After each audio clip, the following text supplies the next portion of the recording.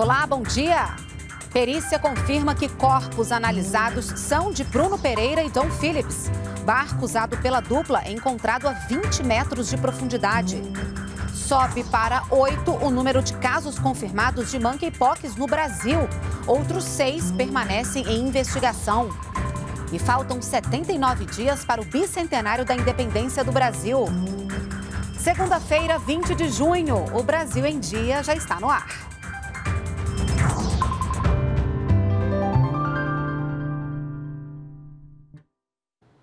8 horas da manhã, nós estamos ao vivo também pelas redes sociais. A Polícia Civil do Amazonas localizou ontem a lancha em que estavam o indigenista Bruno Pereira e o jornalista britânico Don Phillips. O local foi indicado por um terceiro suspeito que foi preso no sábado. As investigações continuam. Vamos saber mais informações com o repórter Glauco de Queiroz. Ele está em frente à Polícia Federal aqui em Brasília. Oi, Glauco, bom dia para você. Bom dia, Renata. Bom dia a todos que nos acompanham, né? Isso mesmo. O Jefferson da Silva Lima, que estava foragido, se entregou à polícia na noite de sábado. Ele é o terceiro suspeito preso por envolvimento no desaparecimento do jornalista inglês Don Phillips e do indigenista Bruno Pereira. Um deles, né, o pescador Amarildo da Costa Oliveira, confessou participação. Ontem, o Jefferson deu, indicou à polícia né, a localização da embarcação utilizada pelas vítimas. Segundo o delegado de polícia de Ataleia do Norte, ela estava a 20 metros de profundidade no rio Itacoaí. Vamos acompanhar o que ele disse. A lancha encontrava-se submersa a cerca de 20, 30 metros da margem direita do rio Itacoaí. Né? E além disso, acoplada à lancha, encontramos também, localizamos o motor né, Yamaha é, 40 HP e quatro tambores. Essa operação foi composta pela Polícia Civil do Estado do Amazonas, mergulhadores do Corpo de Bombeiro, PM e a Marinha do Brasil, que inclusive está conduzindo a lancha do local onde foi encontrado até o porto de Atalaya do Norte. Olha, segundo a Polícia Federal, né, outras cinco pessoas né, foram identificadas por terem envolvimento nas mortes. As investigações continuam para esclarecer a motivação dos crimes. Também no sábado, o Instituto Nacional de Criminalística confirmou que os restos mortais encontrados na região do Vale do Javari são mesmo do jornalista Dom Phillips e também do indigenista Bruno Pereira. O exame médico legal indica que as mortes foram causadas por disparo de arma de fogo com munição típica de caça. Renata. Certo, Glauco. Muito obrigada pelas suas informações. E olha, o Ministério da Saúde confirmou o oitavo caso no Brasil de monkeypox, a varíola dos macacos. O paciente é um homem de 25 anos, morador de Maricá, no Rio de Janeiro. Ele está estável, isolado e sem complicações. O monitoramento é feito pelos Centros de Informações Estratégicas em Vigilância em Saúde, que também atuam para bloquear a transmissão e evitar surtos. Receber notificações de organizações e profissionais de saúde de todo o mundo, acompanhar notícias, checar rumores, ir a campo colher informações. Tudo para detectar e orientar a melhor forma de agir quando há um evento ou emergência em saúde pública, como é na Covid-19 e nas enchentes causadas pelas fortes chuvas que caíram nos últimos meses no Brasil. Esse é o trabalho dos Centros de Informações Estratégicas em Vigilância em Saúde. Atualmente nós temos é, situações como a monkeypox, né, a varíola do macaco, a hepatite de etiologia desconhecida, a própria Covid, né, a gente continua mantendo esse monitoramento e doenças já conhecidas, mas que não estão ocorrendo no nosso território. Por exemplo, a paralisia flácida aguda, é, o sarampo, que são doenças que a gente não tem mais ocorrência e que a gente tem que estar com a rede bastante alerta é, para a entrada e a gente conseguir bloquear essa transmissão e não deixar acontecer surtos. Nos últimos dois anos, o governo investiu 175 milhões de reais na ampliação da rede CIEVES.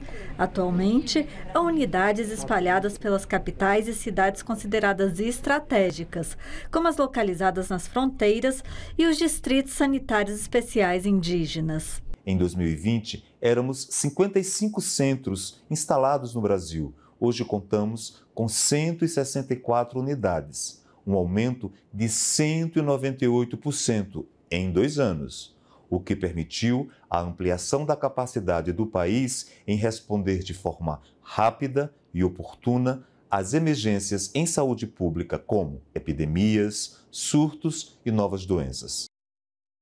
Nesse fim de semana, a caravana Brasil para Elas esteve em São Gonçalo, no Rio de Janeiro. A iniciativa leva dicas sobre empreendedorismo e acesso a crédito bancário para que mulheres possam investir no próprio negócio e gerar emprego e renda.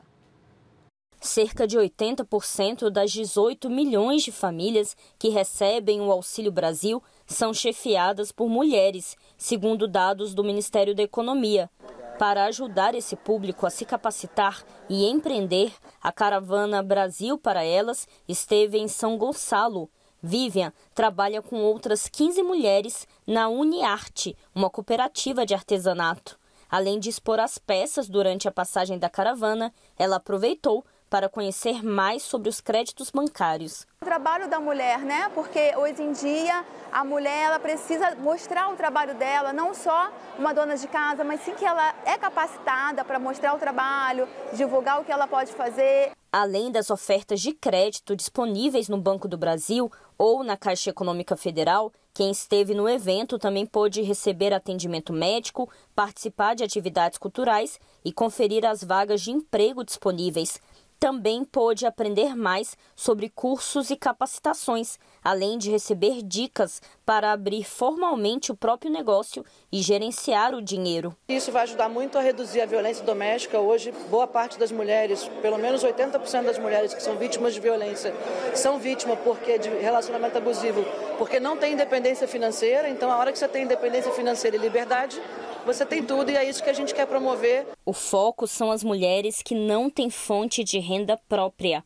mas há orientações também para quem já abriu a própria empresa e quer crescer mais. Esse é o grande papel do Sebrae. O Sebrae é, trabalha exatamente para as micro, pequenas empresas, os MEIs, né, para que ele seja incentivado, motivado a se formalizar empreendedoras que vão poder participar de várias oficinas né, para poder ampliar seu conhecimento. Trazendo ferramentas, trazendo condições para que essas mulheres elas conheçam né, daquilo que elas podem fazer elas saibam, por exemplo, que como beneficiária do Auxílio Brasil, né, ela pode é, hoje né, trazer uma microempresa individual, né, constituir uma microempresa individual e mesmo assim continuar recebendo o benefício.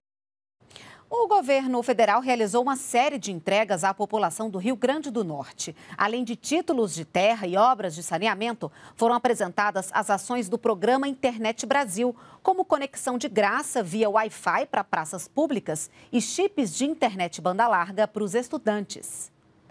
700 mil crianças e adolescentes de baixa renda da educação básica na rede pública vão ganhar um chip com pacote de 20 gigabytes. Recebe o benefício em todo o país quem tem um aparelho que aceite o chip e quem está inserido no cadastro único para programas sociais. Foi anunciada ainda a distribuição de 3.125 kits de conversores digitais. Vamos começar com 700 mil pessoas nos próximos meses e vamos chegar a 14 milhões de pessoas do cadastro único que vão ter celular em casa com chip gratuito para acessar conteúdos.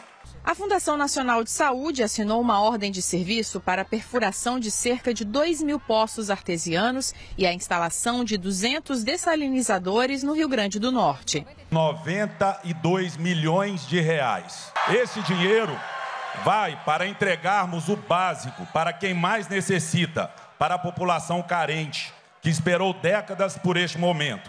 E para quem ainda não morava na própria terra, o Instituto Nacional de Colonização e Reforma Agrária entregou 2.500 títulos de terra. 1.500 deles são títulos definitivos. O título está aqui, graças a Deus. 22 anos esperando isso aqui. E hoje nós somos dono. Essas pessoas tornaram-se cidadãs, pessoas de bem, que passaram a cultivar sua terra, passaram a ter crédito para investir na agricultura familiar. Quem faz parte do Auxílio Brasil pode receber ao mesmo tempo o benefício e o salário, caso consiga entrar no mercado de trabalho. O acúmulo vale até por dois anos e funciona como uma regra de emancipação no programa. A pessoa que recebe o Auxílio Brasil, se conseguir emprego com carteira assinada, poderá continuar com o benefício? A resposta é sim, e para isso é preciso estar enquadrado nas regras criadas pelo governo federal de emancipação do programa. Uma delas é que a família tenha renda mensal de até 210 reais por pessoa, o que determina a linha de pobreza. Quando ela adere ao auxílio inclusão produtiva rural, ela recebe 200 reais a mais para ser investido nesse início da atividade dela produtiva rural porque a gente, o objetivo é a gente começar ao fomento da atividade da agricultura familiar. Mesma forma, o auxílio inclusão produtiva urbana vai, vai permanecer no, no, no, benefício durante 24 meses, concomitante com o exercício da atividade de trabalho, concomitante com o exercício dessa atividade laboral. A família da Cláudia já recebia o Auxílio Brasil porque o marido dela estava desempregado. Há alguns meses ele conseguiu um emprego formal e o benefício permaneceu. O auxílio será pago por até dois anos. Graças a Deus deu certo, porque ele está trabalhando e o Bolsa Brasil ajuda mais, né? A ideia do governo com a regra de emancipação é estimular o beneficiário a começar uma atividade para ter maior autonomia e independência financeira. O Auxílio Brasil garante a mais de 18 milhões de famílias um sustento digno. Após esse período, né, que chama de regra de permanência, ela perdeu o emprego, ela volta automaticamente a receber o, o Auxílio Brasil, bem como ela já começa a ser protegida por outra rede de proteção social do governo federal, por exemplo, o seguro-desemprego. Todos os anos, um estudo do governo ajuda os produtores na escolha das melhores épocas e locais para plantar. É o zoneamento agrícola de risco climático, que traz dados sobre mais de 40 culturas, entre elas a do girassol. O amarelo vibrante das pétalas contrasta com o verde das folhas e o céu azul das tardes no Planalto Central. Os campos de girassóis chamam a atenção de quem passa por ali. A Noêmia veio com a filha e o marido para tirar fotos em meio às flores. Ela conta que sempre fica atenta para não perder o momento certo da florada. E uma foto em meio à plantação não pode faltar no álbum de família. Sempre que a gente está passando, dá uma paradinha, olha, tira foto.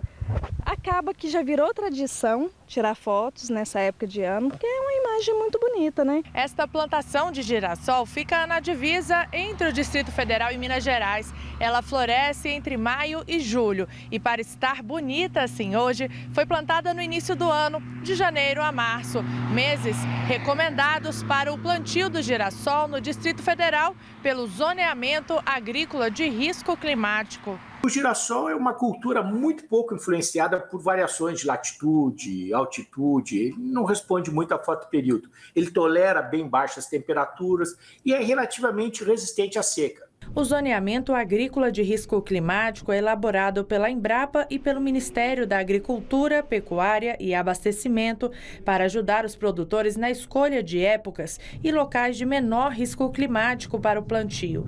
O objetivo é dar mais segurança a quem vai cultivar e também dar acesso a financiamentos e a políticas públicas. Além do girassol, o estudo é feito sobre mais de 40 culturas, como o trigo e a soja para o indivíduo ter acesso muitas vezes a financiamento e a um seguro, ele tem que semear, ele tem que obedecer às recomendações, às indicações do zoneamento.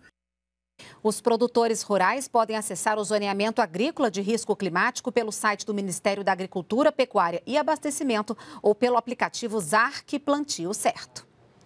A gente fica por aqui. Uma ótima segunda-feira para você e até amanhã.